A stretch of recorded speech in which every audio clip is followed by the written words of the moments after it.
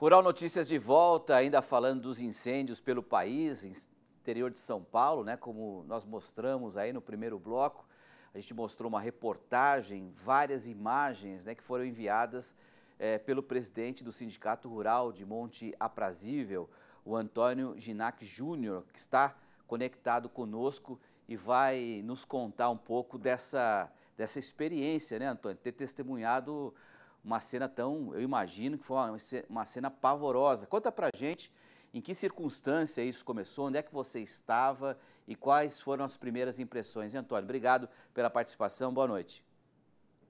Boa noite, Petrin. É um prazer estar aí com vocês, dando meu depoimento. O que nós vimos aqui na prática, né? O Petrin, eu estava na propriedade, mexendo com cana para os animais, e a gente sempre ao olhar uma, uma nuvem de fumaça, alguma coisa assim, a gente já tenta entrar em contato com as usinas, né? Para avisar o que está acontecendo. E surgiu um foco, mais ou menos uns dois quilômetros da minha propriedade, e cheguei correndo para ver o que era, de longe, já acionando bombeiros, alguma coisa, e essa, essa nuvem não parou. Não parou e ela foi embora, Patrick. Foi embora. No outro dia, quando eu voltei, ainda estava queimando a cidade toda, eu escutando tudo. Nós ficamos quase que 36 horas em incêndio aqui. Mas então, começou de fato? Quando, quando, quando, começou de fato? É, começou na, no sábado de tardezinha, isso aí, Pedro. No sábado de tardezinha. E foi, ter, foi terrível, foi queimando e passando de um lugar para o outro. Tinha lugares que o fogo saltava de 2 a 5 metros, ele saltava de um lugar para o outro. Impossível o controle, impossível, impossível mesmo. E aí você viu animais, é, lá tinha animais que também estavam correndo risco. Como é que foi o momento para tentar?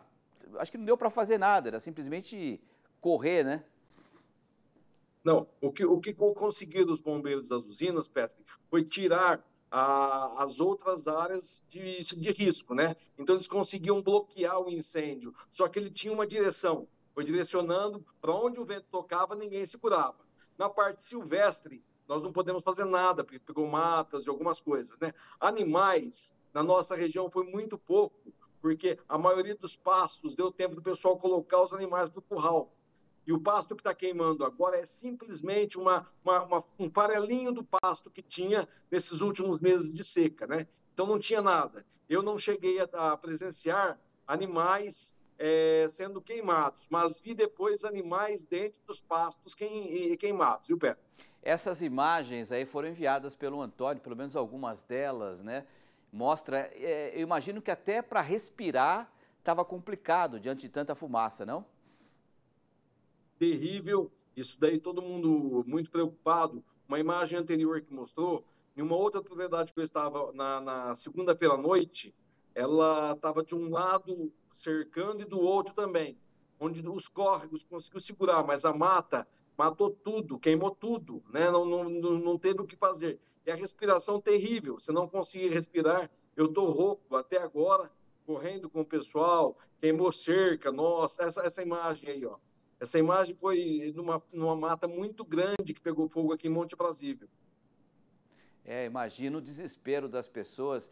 É uma região em Monte Aprazível que fica um pouco mais distante de Ribeirão Preto, mais a, ao, ao norte, né, ao noroeste, na verdade. E é uma área que, que produz cana. que mais, Antônio? Petrin, aqui nós estamos a 230 quilômetros de Ribeirão Preto, né? Estamos pertinho de São José do Rio Preto. Aqui nós temos a maioria cana-de-açúcar. É, temos pastagens de animal de gado também, mas o que mais predomina na região também são as seringueiras, Petri. E essa é uma época que acabou de cair todas as folhas das seringueiras. Então pegou fogo em vários seringais, vários mesmos, né? E a, o fogo que pegou nessa seringueira, se queimou ela ao redor inteiro, provavelmente ela vai afetar a copa e vai morrer essas árvores que demoram de 7 a 10 anos para produzir. É uma tristeza o que está acontecendo por aqui. Eu só tenho mais 30 segundos, Antônio, mas é importante que você nos diga. Choveu aí nos, nas últimas horas? Ainda algum foco de incêndio? A situação está controlada? Parece que, teve uma, parece que teve uma intervenção divina, Patrick. Choveu de 12 a 17 milímetros aqui na nossa região. Graças a Deus, para questão de respiração melhorou tudo. Mas eu passava em algumas florestinhas que eu vi por aí, que aqui é bastante cerrado também, né? Ainda tinha alguns focos de incêndio, mas que não iria saltar para lugar nenhum e também já estava sendo controlado. A chuva parece que veio por uma intervenção divina mesmo. Foi muito bom essa chuva que nós tivemos. Ainda bem. Obrigado, então, ao Antônio Ginac Júnior, que nos dá esse depoimento importante e também nos forneceu vídeos aí da região de Monte Aprazível, no interior do, do estado de São Paulo. Xará, muito obrigado pela participação, uma boa noite, que todos se recuperem aí. Valeu, Pedro. Para você também, um grande abraço a todos aí. Felicidades. Valeu.